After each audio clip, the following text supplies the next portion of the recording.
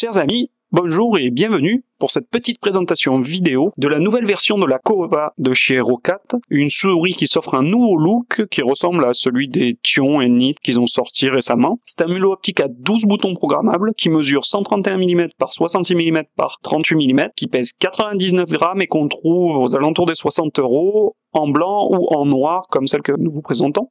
C'est un modèle qui ira aussi bien au droitier qu'au gaucher, car les boutons sont placés un peu partout sur la souris. Elle est équipée d'un capteur Pro Optic R6 à 3500 dpi qui peut monter à 7000 dpi logiciellement. Alors sous ce gros nom de Pro Optic R6, on trouve un PMW 3320 qui est un capteur assez connu qu'on voit un peu partout, qui est équipé sur la Xornet 2 de couleur master, qui n'a que 7 boutons mais qu'on trouve à 30 euros. À noter aussi que la prochaine DX20 de Cupad a exactement le même capteur et elle tape dans les 70 euros à la sortie. C'est un capteur qui fait son boulot, il est correct euh, sur différentes surfaces, que ce soit un tapis de protection opaque, un tapis de souris flexible ou rigide, du bois brut, euh, du bois peint, euh, un plateau de mélaminé. On l'a essayé un peu partout, il fait son taf. Elle est configurable via logiciel, qu'on présente dans le détail dans la vidéo parce que même si c'est une souris, elle a le droit à un logiciel plutôt costaud. Et ces 512 kg de mémoire permettront d'embarquer vos profils avec vous si vous vous déplacez avec votre souris. Souris gaming oblige, elle a droit à un rétroéclairage RGB,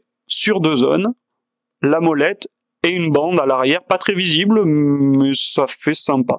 Il voulait lui donner un, air de bagnole de course, du coup, ouais, avec des néons en dessous, ça fait surtout bagnole tuning.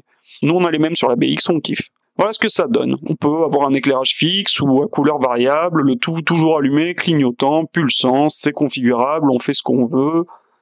Voilà. Il y a un petit bug de temps en temps sur les couleurs. C'est-à-dire qu'on lui met une couleur claire et elle nous sort un blanc cassé qui n'a pas grand-chose à voir. Alors est-ce que c'est parce que nous avons une préversion du logiciel ou est-ce que c'est un bug euh, de programmation? Les prochaines mises à jour nous le diront. Alors on vous a dit elle a 12 boutons répartis de façon à ce que un gaucher ou un droitier puisse s'en servir. Ça fait beaucoup et bah, on va essayer de les l'appuyer dessus et au passage vérifier s'ils font du bruit ou pas.